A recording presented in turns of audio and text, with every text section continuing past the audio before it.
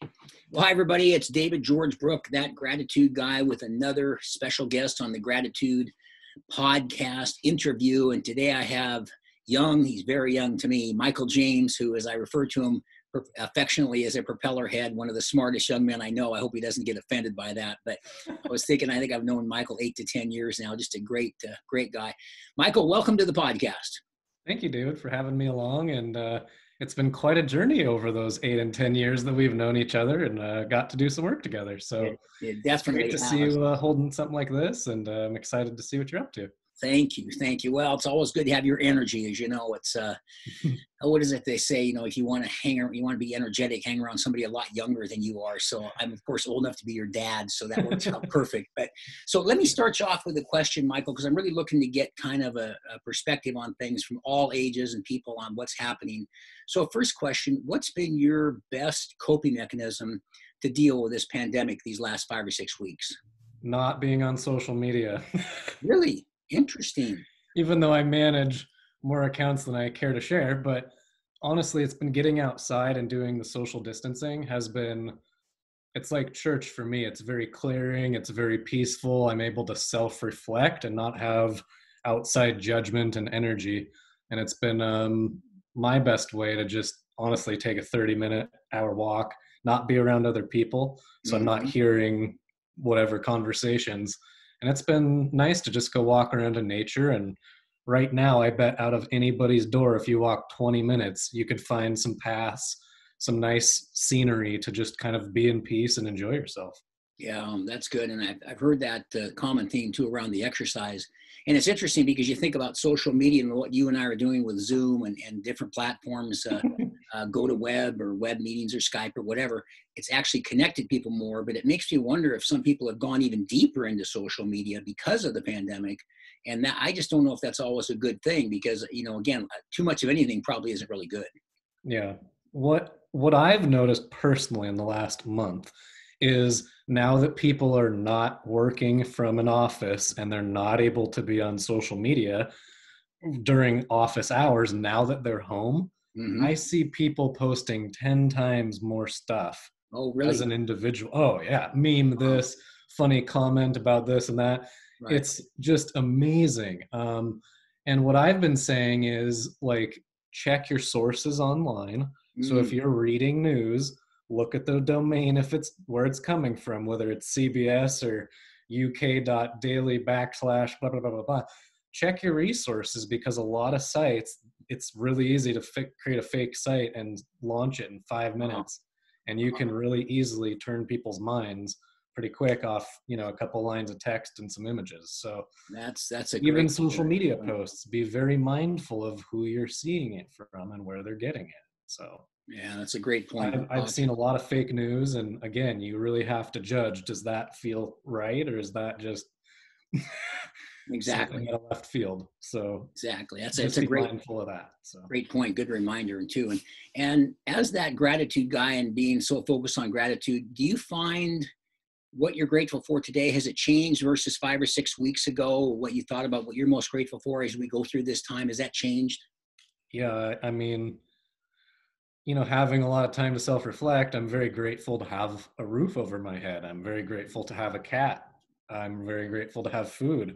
I'm very mm-hmm. grateful to have clients that have paid my bills.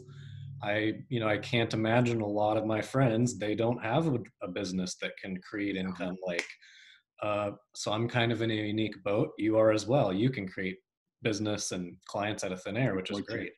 Very, very um. There's, you know, a lot of you know insurance banking restaurants you know everybody is kind of feeling it right now so right. there's certain industries that are doing well and they're kind of actually able to take hold of this time mm-hmm. and really hone in on what services or products are actually selling and they're able to then look at their inventory and be like wow we don't need a lot of this or look at the numbers on this it hasn't been selling in the last year let's maybe get rid of some of this stuff right.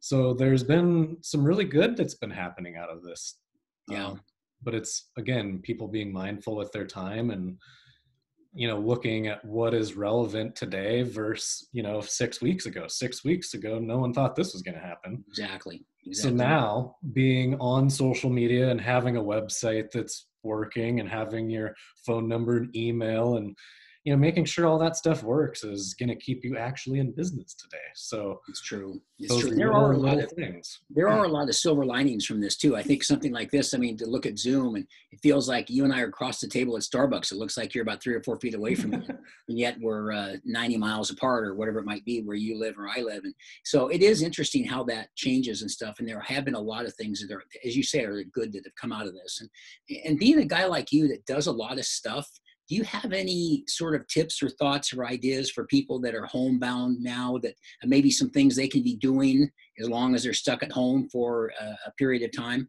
Yeah, I mean, I would spend as much time as you can with your kids, your family, your animals. Mm-hmm.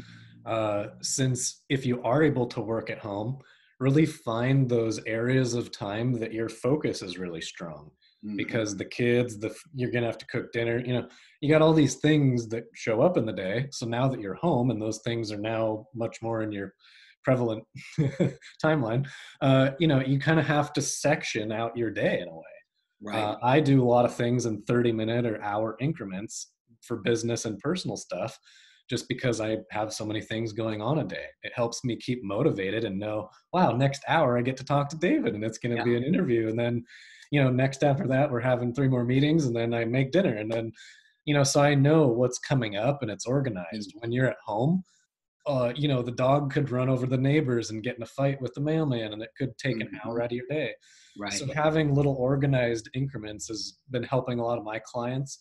And again they've been able to then relay that to employees at home and have these zoom kind of conversations where they're not physically in person at, in the office mm-hmm. but they can have that through these zoom conversations and you know have a five minute conversation and that's yeah. great. In fact, I remember uh, one of the individuals said something about take the day seriously, and I know I, I, take it very seriously now. I got up and I shave and I get ready and get dressed and get my good clothes on, put my shoes on, even though I may not be leaving the condo. But take the day seriously and get into the chunks, as you mentioned, which is really good, and then just sort of plan it out and so forth. And and uh, just because we're home doesn't mean we can't look at it from a business like standpoint. And yeah. And, and you mentioned Michael, your business is uh, definitely like mine. A lot of it's run kind of from the computer, so we are fortunate. Uh, compared to some people have to be physically at another location or whatever. Uh, anything you're thinking of doing now to kind of sort of hit the ground running when this stops? Because it's going to end at some point. We don't know if it's a vaccine or what's going to happen, but are there any things that you're thinking about, boy, when this thing slows down or I can get back out and about, I'm going to do X, Y, Z? So, to answer your last question and this one, I would say that look into the skill sets that are also fun right now for you. Mm-hmm. And you might also be able to turn that into a business. Mm-hmm. So for you, you were able to take that gratitude guy and put him on YouTube. Yeah. yeah. And then create an every Monday morning minute and then mm-hmm. a book and a right like you have created a future off of YouTube, David. Right. Along with your coaching, your training, your phone calls, like that's invaluable. So I mean, mm-hmm. right now, even if you're there's a 10 year old kid last year, he was one of the largest grossing YouTubers and he was reviewing toys. Wow toy companies would or you know would send him a toy and he'd review it for 10 minutes talk about it play with it bash it around and then he would get 10 million views on a video. Wow. Wow. And he made millions and millions in that. Mm. so i mean whatever your focus is whether it's fishing gratitude social media marketing watches whatever you're doing mm. talk about it. Good maybe point. create a hobby on the side. Create a facebook page. You got some time. Look into maybe doing a website. You can do them in a day they say off of Wix and Weebly and all these other little builders. Mm-hmm. You could turn a Amazon um, shipping business. You could do you know all sorts of things. You could grow baby greens in your extra room in your apartment and make a thousand dollars a month. Like there's so many little angles right now. Whether it's photography or dog walking or whatever, people are looking for ways to make some extra money, but also have some fun while they're doing it. That's a great point, though, because I think back about uh, some of those different examples you just gave. It's only limited by your uh, uh, uh imagination, you know, and it's really true because you think like grow baby greens, you know, do this, do that, you know, look at a toy or analyze toys or whatever it might be. And really, if people just would follow through on those ideas that they have, gosh, the vehicles, the Amazons, the internet, the Googles, the YouTubes are all out there for you to use. Well, let me ask you a question, David. How easy would it for you to be to stop that gratitude guy and tomorrow you just wake up and you go get a job. Yeah. It'd yeah. be real easy, wouldn't it? Sure, sure. But you don't do that. David's Yeah. a fighter and David's going to keep doing that gratitude guy. Well, and there's that word too that I use a lot, and it gets overused a lot. I understand, but there's a passionate about it. And there was a great uh, example that I use in my talks occasionally about a friend of mine that I don't know how much money it was worth, but he was, but he wanted to prove a point, and he took out a piece of paper and he wrote a check to me for a million dollars. And he handed me the million dollars. He says, uh, you know, I'll give you this million dollars on one condition. And I said, what's that? And he says, effective today, you have to stop being that gratitude guy. And he said, would you do it? And I said, no. And he Yeah. goes, I think you found your passion Yep. you know and so it's it's it's really cool because that really that's what it comes down to and to me anybody and i know especially with the work that you do michael anybody that tells you you've uh, changed their trajectory how they do business how they impact people how they sell their product or services whatever it might be thanks to you michael blank blank blank you just can't put a price on that it's just I it's priceless I'll be I'll give you two quick examples. I got two calls within the last 2 weeks and some past clients from Seattle and then one right here up in Bellingham. hmm 26 staff are still in work right now because of my websites and social media energy. wow So they called me and said, "Hey Michael, guess what? Our websites are doing very well. These products are still selling." And I made Facebook posts and it was I was really cool. Like I don't I don't get those calls too often, but they had the time and they really wanted to thank me for that. So that was that really cool. fantastic that is fantastic So I know I know that um I just finished another website within well it was last Friday. So today's Wednesday. So last Friday. So it's been live six five, six days. Um and seeing their analytics from the week before, it's Mhm. already climbed like 15%. So I mean, just by me relaunching their site, having better SEO, you know, linking out their social media better, it's already climbed. I mean, it, Wow. it might congratulations wow that's fantastic those little things right now are crucial. Yeah, absolutely. And uh, which leads me kind of to my final question is uh, something I think I know the answer to this, but I'm going to ask you: What does does Michael James have a quote or a philosophy or a saying or something that kind of represents your overarching view towards life, whether it gets you through the tough times, gets you through a pandemic, or something that kind of represents your sort of life philosophy, if you will? Yeah, I've I've kept this one pretty close to home, and I can't think of where it came from, but I've heard sports figures say it. It's probably been in a million movies, but go big or go home. Oh, I love that. And from from when I walked, I mean, honestly, when I went into college, I had to think like that too, because I had I I knew no one, hmm and I was, you know, six hours away from anyone I did know. So I have, I really did have to go big, or else I was literally gonna have to go home and be a loser, just not. You know, it Mhm. wasn't wasn't Michael. I didn't make it. Right. But for me, the go big, go home thing, every day I make phone calls. Every day I email people. Every day I send proposals. Every day I do results. I, I mean, that's for me. That's going big and going or going home. Yeah.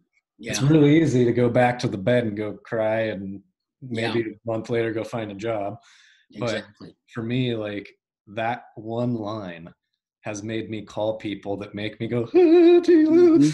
but it, I, I man up and I take care of it, and that's what's gotten me here to today. So and it's something somehow it's a great one go big or go home and i think sometimes it then makes me think of other sayings and this whole thing nothing ventured nothing gained i mean you got to put yourself out there and you've always done a good job on that and it's going to continue i know it's paid in the past but it's continuing to pay in the future but i just think that's so important because a lot of people that's why i said i wanted to do these that maybe a person picks up oh i like what that michael james said he made a comment about this that maybe don't have the imagination the uh, motivation the inspiration or whatever and they pick up on something but there's just so many ways that we can deal with something like this which on the surface doesn't look good but if you dig a little deeper as i said earlier a lot of silver linings yep.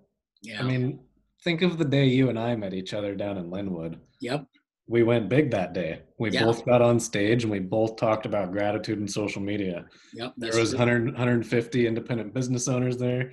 Yep. You got some clients. I got some clients. Like we took that chance. Like yeah Yeah. on a Saturday or a Sunday or whatever day that was. Like how many people do that? So and you know and it's something being 30 40 years apart whatever we are whether it's your age or my age we can both echo the same thing that this it seems like i just met you in your early 20s now you are in your early 30s and it goes by fast and coming from me for somebody as old as i am it flies by. So go big or go home. Take that chance step out there do it and make this an opportunity to see if you can figure out better ways to make money and then even uh, uh, this idea that so many people live paycheck to paycheck to get away from that to maybe have some reserves and, and have some businesses on the side a side side gig side hustle whatever so uh, good stuff good stuff well just yeah. as I thought I knew I'd get some good stuff for you. Thank you so much for being on Absolutely. the podcast, Michael. Thank you, David. This was fun. You bet. Take care.